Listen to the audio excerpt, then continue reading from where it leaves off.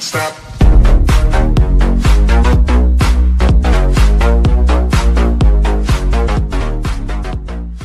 What is going on guys, it is Josiah here and today we are taking a look at the new Android N launcher.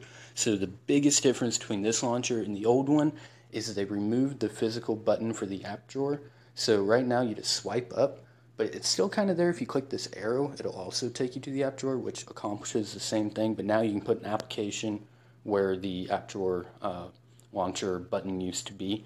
And also they added the date widget and the uh, Google Now widget, which or the Google Search widget, which can't be removed. Unfortunately, they're there, they're stuck there. You can't move them, so it kind of stinks. But if you click the Google Now uh, or Google, it'll take you to Google Search. You click the date, doesn't do anything. I thought it'd like launch the calendar app, but it doesn't, unfortunately. So that's pretty much it. There's no uh, Google Now like if you swipe over, it just isn't there, so that kind of stinks. Maybe we'll add it later, but yeah, that's pretty much it. Thanks for watching, guys. Have a wonderful day.